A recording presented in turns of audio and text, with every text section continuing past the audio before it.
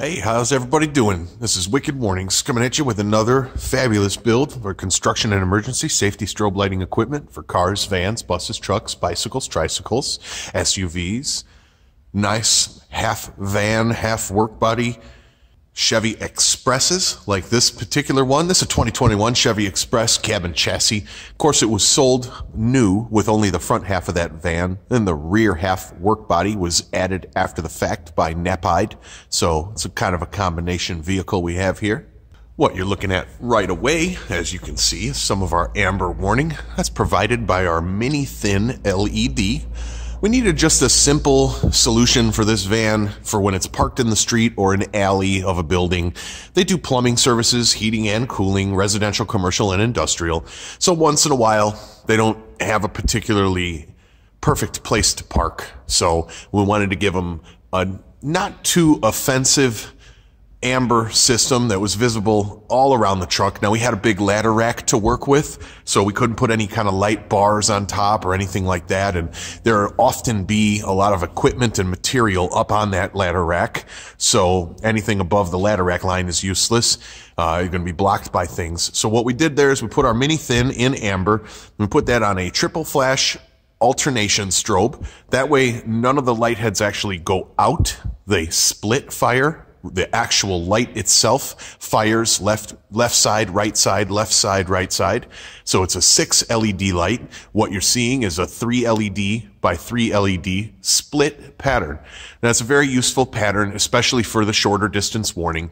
Since this vehicle isn't doing any kind of highway work, nothing real high speed, we didn't need or feel the need to alternate the entire light head. Now, if this was a highway service vehicle, say for tires or something where it was on the high speed interstate all the time, I would have alternated the entire light head to give it a little bit more longer reaching warning, firing that light head six LEDs on, off, on, off as one.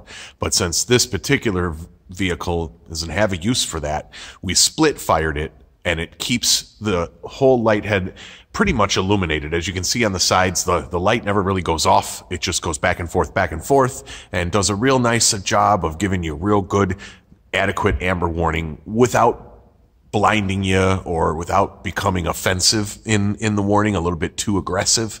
So again, it's just a plumbing truck. It, it's, it's not a police vehicle or anything like that. Um, so Simple package. We also tied in the Knapheide integrated lighting in the rear tail lights. If you got any questions on that, feel free to send an email in and we'll give you a PDF to show you how to tie in to those Knapheide lights. I'll show you those in a minute. But uh, before I show you that, I want to show you the other part of this build that I particularly liked the best. Alrighty, before we go into that, I'll just show you a front view here. Now, we could have put some hideaway strobes down in these front marker lights right here if we wanted, but we didn't really feel it was necessary for this particular build. However, if you have a van like this and you'd like to get some hideaway strobes in amber down in those front markers, feel free. They drill out very easy and it's a simple solution to throw some amber right down here in these lights if you're so inclined. On this build, we felt that the two on the top were more than adequate.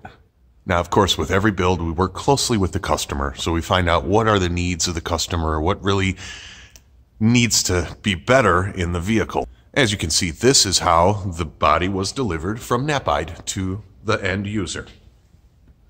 Not too bad, but we can improve on this. Alrighty, so as you can see, we've added lighting to every one of the work boxes on the side. And not only regular lighting, but what we've added is strip lighting to go from the top all the way down. Now, this is to keep it.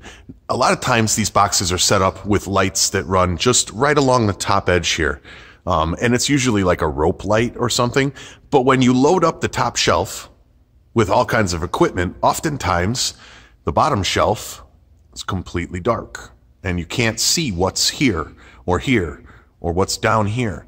So we worked with this customer and we gave him a solution with by putting the lights all the way down the side. We were able to give him complete lighting all the way across. Now the lights here in the center one above the wheel, these lights run horizontally right here. but as you can see, these lights, you can kind of see the reflection of it right in there. The lights run uh, side down there. Now, these were custom made in our shop. It's a 50-50 strip light. You can find cheap versions on Amazon, or you can order via email the 50-50 versions we use here at Wicked. Now, the ones we use are sourced specifically from an individual supplier that I know has high quality lighting. So if you're looking for strip lighting like this, you can email us in and we'll try to get you some. It may be added to the website at some point in time, but as of right now, it's a special order item and there is work. This strip lighting comes in rolls. So you do have to cut it to the length that you want. You have to solder up the wiring on the end and you have to heat shrink it all up. So this particular van, it used 36 inch piece here, another 36 on the other side of that one we did a single 36 on the narrow box on the hinge side. We did a 48 on this box, and we did another 36 on the hinge side of this one. So in total, we used four 36 inch pieces and one 48 inch piece to see, to make the display you're looking at right now. We did the exact same thing on the other side of the box. The other light you might have noticed is right up on top here, right here. Now this is our load light right here in the center. And what that is, is a specific light meant to be mounted higher and shine down. As you can see, the light is cascading out of the bottom of that, not the front edge. And it's in a specialized linear lens that actually gives you a real nice footprint of light right around this area. It works very well. And if I could darken up my skylights, I would show you, but I can't do that. So it's a little difficult to show you the real effect of that unless I wait till the evening time and film it then.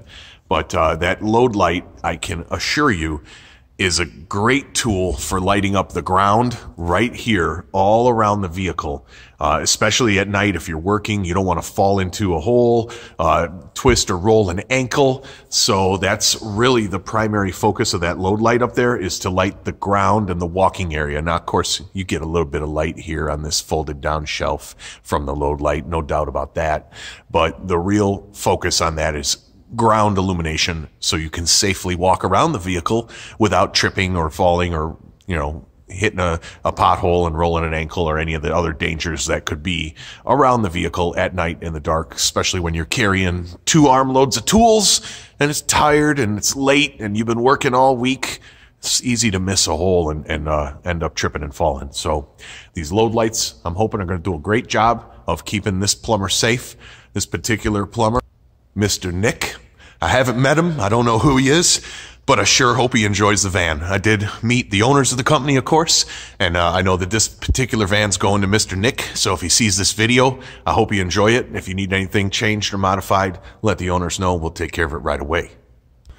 Alrighty, now around the back of the van, as I said, we activated the internal light in the Knapheide taillights. So if you've got a brand new Knapheide body with these kind of taillights, and they don't already do this, Get a hold of us. Info, I-N-F-O at wickedwarnings.com. We'll tell you how to turn that on. Simply powering one wire. We'll let you know where to find it, which wire it is. Right above that, you can see our mini thin. You can also see our mini thin reflecting off the wall here. Quite a good bit of light bouncing back off the wall from that side facing mini thin right there. And of course, we also did some of those work lights around the back. You can see that dead center above the rear doors there.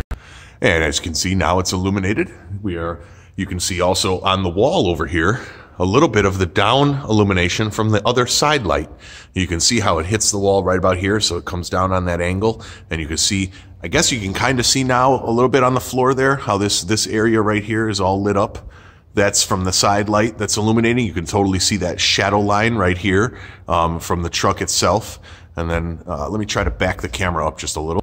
All right, I can back the camera up a little bit and kind of show you here. Again, it's bright in here, but you can see the, the shadow line right here where the vehicle is. So you can definitely see we're getting some real good usable light all in this area here to light up the back of this. And we did a little bit of inside lighting as well. Yeah, as you can see, it's a little hard to make out, but inside the van right there, we've got one, two, three, four, five interior lights lighting up that whole interior real nicely. We also had spray and bed liner take care of the whole inside of the van, as well as some custom racks in there for the particular particular tools that this owner has and that he needs. Now that I lowered the camera a little bit, you can see a little bit better. Now that's a very easy, simple solution for switching on this. We had one switch. We're going to run right inside of here, just a simple toggle switch for all of the white lighting. It's battery fed, so we can run it anytime we like. And that covers all the steady white lighting. We have another switch in the cab of the truck, right on the dashboard, that covers all of the amber lighting. So it's a very simple two switch system, very easy and quick to put in.